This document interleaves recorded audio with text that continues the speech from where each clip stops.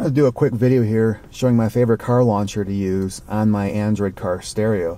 This one is called Car Launcher. Very simple. They have a free version and a paid version. This is the paid version. I think it was about $2. I don't know the difference. Neither one of them have ads. I, maybe there's just more features. I'm not really sure. Anyway, it has a really nice modern look. Almost kind of like what I feel like you would see like in a Mercedes or something like that. In the middle here, you can set whatever apps you want to have. You just kind of scroll them up and down. You can change the order put what you want there, what you don't want there. There's an app drawer for all the rest of them. Very simple, very basic and easy on that part. The best part about this is the fact that you can make the different parts clickable and have multiple functions. So right now I have the Firebird logo in the circle here. I press it, now I have a digital clock. Press it again, I actually have an analog speedometer and that goes off of the car's GPS speed. You can customize it any way you want and use any widgets that are built into the car launcher or built in to just regular Android and put them there. Same thing over here. I have my Poweramp widget because I use that for my MP3s. I made it clickable where now it's a digital speedometer if I'm not using Poweramp. And again, you, I can click on it. It'll take me right to Poweramp. Go back to home. I can do play pause from the home screen, skip, or whatever I want to do. And you kind of have another music capability down here too. On the bottom, this is set with Car Launcher. You can use whatever you want to use it for. I have YouTube Music. You can use Pandora or YouTube or Spotify, I believe works too. And with that, again, I can click the actual toolbar. It takes me right to it, to my YouTube Music, and I can play pause or skip tracks and so on.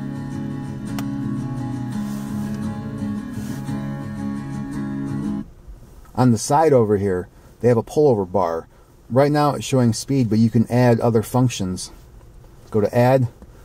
So if I want to say, let's say what my max speed was, or let's say 0 to 60 kilometers per hour acceleration. Let's do max speed. And you can have it set also, do you want your trip, just today, the week, the month, or forever. So let's say my max speed today, and then hit the save. So my max speed is 56 miles per hour today. I'm on all back roads here. No real fast place to go. And it'll save all that and it'll reset however you want to reset it. So let's go to the settings. They have a couple different themes here. You know, you have a more blocky with larger icons that you can scroll. I'm using the theme leather. I kind of like the look of it the best. And there's one more I can download. And all these are customizable any way you want. And then if you go into edit your theme, here's where you can change your color. You want to go black, blue, green, red, more of an orangish there, or you can use a photo for your background. And I didn't mean to go all the way out. Again, here's where you would modify your clicks. So if I want to add something else or take away the speedometer from when I hit the bird, I can do that. I can add the Google Now microphone up here if you have Google Now installed on your radio, which sometimes is not that stable, but you can. Any launcher, any widget, if I want to do a Spotify widget, if they have one, I can put it here, put it at the bottom. So very, very customizable. Now, word of note, to add the picture is actually very, very tricky. It wants you to have an app called Gallery to actually be able to view the pictures to select one. And Gallery just does not work on this at all. It won't show any images whatsoever. So I actually had to download Google Photos on my phone and the radio. And then I had to on Google Photos from my phone, upload it to the cloud, and then come on the radio, download it from the cloud, and then it showed up. Otherwise, I just could not get any images to show up to be able to select for here. But I got it working finally. And again, it's I, I do like the multi functions. I don't know why I would need an analog clock because I have a digital clock right there. But you can do it. I mean, I could put a large digital clock here, time, date. Final part that I find interesting is if you want to dim your screen quickly for nighttime driving.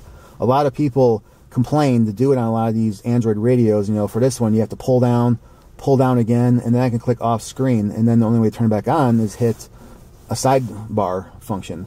With this car launcher, all you got to do is press the date, and there you go. It's done. It's dimmed. I still have my digital speedometer. I have the clock, the date, and a battery function. I'm not sure what it's saying, 66% battery full when there is no battery um, hooked up to this thing. And again, to bring it back, anywhere on the screen automatically dims back. So that part right there is really cool. But I recommend if you have any Android car stereo, give Car Launcher a try.